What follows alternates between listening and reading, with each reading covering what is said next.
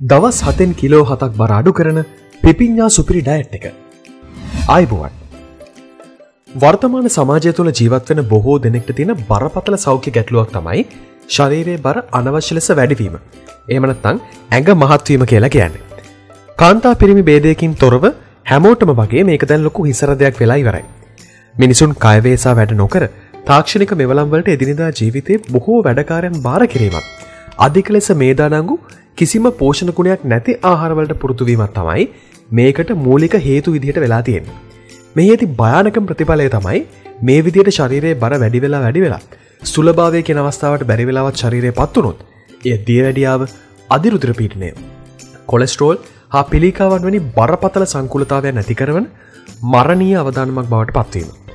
ඉතිං සිංහලෙන්ම කිව්වොත් ශරීරයේ බර ටික ටික වැඩි වෙලා ශරිරය මහත්වයගෙන එනකොට ඒ ගැන නොසලකා ඉන්න එක හරිට නියපොත්තෙන් කඩන්න තියෙන දෙයක් පොරොවෙන් කපන් ඉතුරු කරනවා වගේ වැඩක්. ශරිරය අමතර බර අඩුකරගෙන ඇඟ ලස්සනට හැඩකරගන්න අපි කවුරුත් කැමති වුණත් ගොඩක් වෙලාවට ඒ සඳහා ලොකු කැපකිරීමක් කරන්න අවශ්‍යයි. බොහෝය මේ අරමුණ ඉටු කර ගැනීම සඳහා සති ගානක් තිස්සේ ආහාර පාලනය කරමින් ව්‍යයාමවල එදනාකාරය ඔබ අන්තර්ජාලය තුළත් ඕන තරම් දැකල ඇති. හැබැයි ඉක්මනින් බර අඩුකරගන්න කියලා ඕමනාවට වඩා කෑම අඩුවෙන් කන එක ශරීරයට හොඳනෑ කියලත් දැන් වෛද්‍යවරුන් හාගෙන තියෙනවා. ඇත්තරම අපි කන කෑමවේල් ගාන අඩු කරන එකෙන් වෙන්නේ ශරීරය තව තවත් මහත්වන එක. මොකද කිවොත් සීමාව ඉක්මවල ආහාර පාලනය කරන්න ගියෝතින්. ශරීරයට නිතර ආහාර නොලබෙන බව ශරීරය විසින්ම හඳුනාගෙන තම පරිවෘතිය ක්‍රියාවල වේගේ බන්ධගාමී කරනවා. එතකොට ශරීරය විසින් මේදේ දහනය කරලා ඒව ශක්තිය බවට පත් කරනවා වෙනුවට මතු ආරක්ෂාව සඳහා මේදේ ලෙසම රඳවා ගැනීම තමයි සිද්ධවෙන්. එවිට බරාඩු කර ගැනීමට ඔබ දරන උත්සාහය කිසි සේත්ම කාරක්ෂමනං වෙන නැහැ. එකින් සිද්ධ වෙන නිකරුණේ බඩගින් ඉන්න වෙන එක විතරයි. විශේෂ මැඟට පරණැතිවීම සහ ගැස්ටයිටි සතුළු රෙඩෝග ඇතිවීම පමණයි. එතකොට කොහොමද අපි බරාඩු කරගන්නේ. හරි නිකරුණේ බයවෙන්න අවශ්‍යන හැ මොකද අද විශ්මලෝකය තුළින් අපි ඔබට ශරීරයට කිසිම හානියක් නැතුව බොහොම සෞඛ්‍යාරක්ෂිත විදියට බර අඩු කරගන්න පුළුවන් හරිම පහසු ක්‍රමයක් කියල දෙනවා. මේක ඔබ නිවැරදිව කළොත් දවස් හතක් ඇතුළතදී කිලෝ හතකට ආසන්න ප්‍රමාණයකින් ඔබේ ශරීරය බර අඩු කරගන්න පුළුවන්.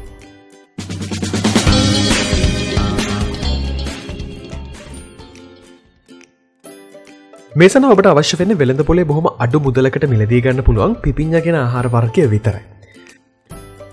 මේක එක්තර ආහාරපාලන වැඩසටනක් වුණත් මේක කර ඉන්නකොට අපි අනවශ්‍ය ලෙස බඩගින්නේ නැති නිසා ප්‍රතිඵල ගැන බයවෙනට දෙයක් නෑ ඒගැන වගකීම අපි වාරගන්න. පිපින්න සත සුවිශේෂී පෝෂක එකතුව නිසා එයින් අපේ පරිවෘතිය ක්‍රියාවල වේගේ අඩුවෙන් නැහැ. ඒවගේම තමයි පිපිංජ සතු ඉහළ තන්තු එකතුව නිසා බඩගෙනවීමක් හෝ බඩේ වේදනාවක් ඇතිවීමත් බලකිනවා. ඒවිතරක් නෙවෙයි පිපිංජවල මුත්‍රවර්ධක ගුණය නිසා ප්‍රමාණය ඉක්මවා එකතුවලා තිබෙන ජල ඉවත් කරලා ඇගේ පිම්බුණු ගතියත් ඉවත් වෙනවා. පිපිංහ යුෂවල අඩංගු සත්කාරක ගුණය නිසා ගැස්ට්‍රයිටස් වාත අමාරු වගේ ආහාර පාලනය කරන අයට නිතර ඇතිවෙන ආබාධවලටත් කිසිම ඉඩක් නැහැ. මෙන්න මේ නිසා බොහොම දක්ෂ සෞඛ්‍ය වෘතිකයන් පිරිසක් එකතු වෙලා නිර්මාණය කරපු මේ බරාඩු කර ගැනීමේ ආහාර සැලස්ම අදවෙද්දි ලෝකෙ පුරාම මහත් ප්‍රසිද්ධියට පත් වෙලා තියෙනවා. ලොව ප්‍රසිද්ධ නලු නිලියන් ක්‍රීඩකයන් වගේ ඉක්මනින් සිරුරේ බරාඩු කරගන්න අවශ්‍ය අතර මේ පිපිඤ්ඥ ඩයට් එක අතිශයම ජනප්‍රයයි. කැලරිවලින් ඉතාම් අවම පිපිඤ්ඥා මුත්‍රවර්තනය මගෙනුත් ආහාරමාර්ගය පිරිසිදු කිරීම මගෙනුත් අපේ සිරුරේ ක්‍රැස්වේ තිබෙන විශ්වවර්ග ඉවත් කරන්නත් දායක වෙනවා. කැලරි අඩුවනත් අපේ පරිවෘතිය ක්‍රියාවේගේ ඉහළ නංවන්න යට තිබෙන පුදුමාකාර හැකියාවක්.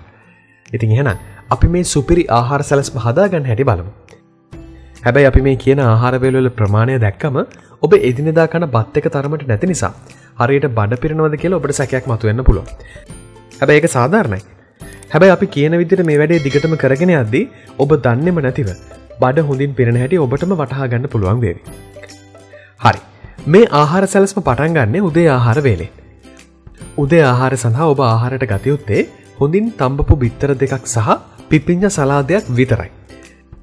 මේ සලාදය හදාගන්න පොතු ඉවත් කරලා කුඩා කැබලිවලට කපාගත්ත පිපිංජ ග්‍රෑම් තුන්සියක් යෝගට කෝප් එක ඇති යෝගට ප්‍රමාණය සහ රසවත් කිරීම සඳහා ලුණු ස්වල්පයක් යොදාගන්න ඔබට පුළුව මේක ඇහුවම එක පාරටම ඔබේ හිතර අමුත්තක් වගේ දැරුණට ඔබ හිතනවට වඩා මේක බොහොම රසවත් ආහාරවේලක් බව කාල බැලුහම ඔබට තේරේ හරි අපිතැන් අපේ පිපිංජ සුපිරි ඩයට් එක ඊළඟ කොරසත යොම උදේ ආහාරය අරගෙන ටික වෙලාවකට පස්සේ කෙටි ආහාරයක් ගන්න අවශ්‍යයි ආහාර ජීර්ණ ක්‍රියාවලිය හොඳින් පවත්වාගෙන යන්න මේ දායක වෙන.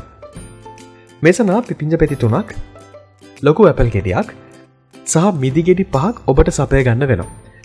හැබැයි හොඳින් මතකතියාගන්න උදේ ආහාරය අරගෙන පැය තුනකින් වගේ තමයි අපි මේ කෙටි ආහාර වෙල ගන්න. හරි අපිට බලමු අපේ දවල් ආහාරය කොහොමද ගන්න ඕන කිය. උදේ ආහාරය අරං හරියටම පෑහයකින් තමයි අපි අපේ දවල් ආහාරය ගන්න ඕන. ඉතින් ඔබට පහසු විදිහයට අපි මේ කියපු ආහාරවේල් ගන්න වේලාවන් සකස් කරගන්න ඔබට පුළුව. ඒවතර කාල පරතර නිවැරදිව පවත්වා ගැනීම තමයි ගොඩක්ම වැදගන්න. හරි දාවල් ආහාරය සඳහා කරකරපු එමනතන් ටෝස්ට් කරපු පාම්පෙත්තක් එක ආයත් පාරක් පිපිංජ සලාදයක් තමයි අපි අනුභව කරන්න. පිපිං සලාදය හදාගන්නේ අපි කලින් කියපු විදිහටම පිපිංජසා යෝගට යොදාගෙන. කරකරපු පාම්පෙත්ත කුඩා කොටස්වලට කඩලා පිපිංජ සලාදයට දැම්මුතින් මේ ආහාරය ඔබ හිතනවට වඩා ගොඩක් රසවත් කරගන්න පුළුවන්. ඉති මෙන්න මේ විදිහට දවල් ආහාරය අරගෙන හරියටම පැය තුනකින් අපි නැවතත් කෙටි ආහාරයක් ලබාගන්න අවශ්‍යයි. මේද ඔබේ ආහාරය වෙන්නේ පිපිංජ මිශ්‍ර පළතුරු බීම. මේසනා පිපිංජ ග්‍රෑම් සීයක් ඇපල් ගෙඩියක් සා නිවිති කොළ මිටක් කුඩාවට කපාගන්න. දැන් මේකට පොතු ඉවත් කර සිහින්ව කපාගත්ත ඉගුරු කැබැල්ලකුත් එකතු කරගන්න. මේ අඩුම කුඩුම සේරම බ්ලෙන්ඩ එකට දාලා පතුරකෝප භාගිකුත් එකට එකතු කරලා ඒකාකාරී මිශ්‍රණයක් ලැබෙනතුරු හොදින් බ්ලෙන්ඩ කරගන්න. පිපිංජ බීම එක හදල ඉවරුණු ගමම්ම නැවුම් තත්වම පානය කරන්න. හරි අපිතැන් අපේ පිපිංජ සුපිරි ඩයට් එකේ බොහෝ දේවල් ඔබට කියලා දියලි වරයි. දැන් ඉතුරලා තියෙන්නේ අවසන් අදියර. ඒ තමයි රාත්‍රී ආහාරය කොහොමද සකස් කරගන්න ඕන කියන එක. හරි ඒදෙත් අපි ඔබට බොහොම සරලව කියල දෙන්න. රාත්‍රී ආහාරය විදිට ඔබ ගන්න ඕනේ පළතුරු සලාදයක්. තමන් කැමති පළතුරකින් ග්‍රෑම් දෙසිය පනාක ප්‍රමාණයක් එක්ක පිපිංජ පැති දෙකක් තමයි ඔබ මේකති ආහාරට ගත යුත්තේ. මේ ආහාර වෙලත් දහවල් ආහාරයෙන් හරියටම පෑ හයකට පසුව තමයි ගන්නට ඕනි. ඉතින් මේ විතිර රාත්‍රය ආහාරය ගැනීමත් එක මේ ඩයට් ප්ලෑන් එක වෙර වෙනවා. මේක කරදි නැවත විශේෂ මතක් කරන්න ඕනදේ තමයි අපි මේකපු ප්‍රධාන ආහාරවේල් හා කෙටි ආහාරවේල් අතර සෑම විටම පෑ තුනක කාල පරතරයක් ඔබ විසින් පවත්වා ගත යුතුමයි. මොකද නැත්තන් අපි මෙතරම් මහන්සි වෙලා කරන මේ වැඩෙන් අපිට ප්‍රතිඵලයක් නැති වෙනවා.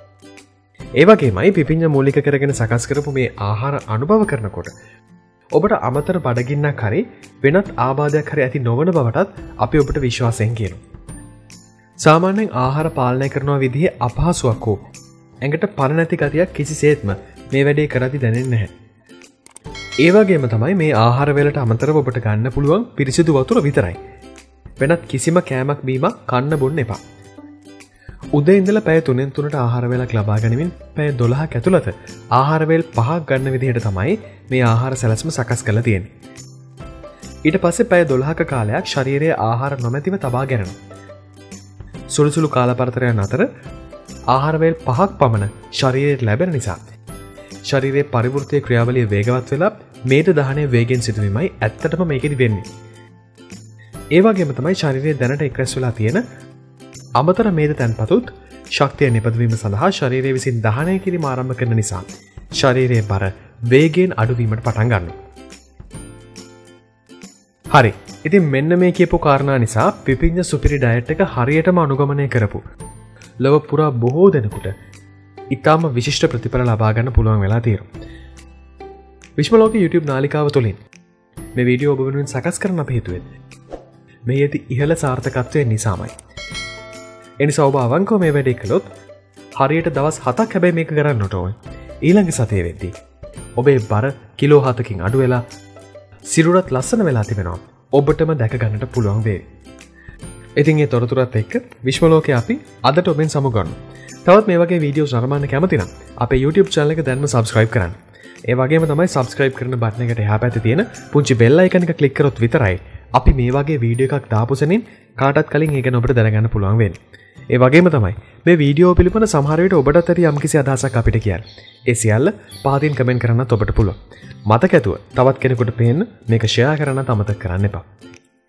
තවත් දවසක මේ වගේම වෙනස් විදිේ මාතෘකාවක් උසේ සැකසුණු වටින වීඩියෝකින් අපි ඉක්මනින් ඔබෝමුණ ගැන එතෙක් මතක ඇතුව අපිව සබස්ක්‍රයිබ් කරල තියාගන්න. අදට ගිහින් එන්න. ඔබට සුබ දවසක්. අයිබෝවන්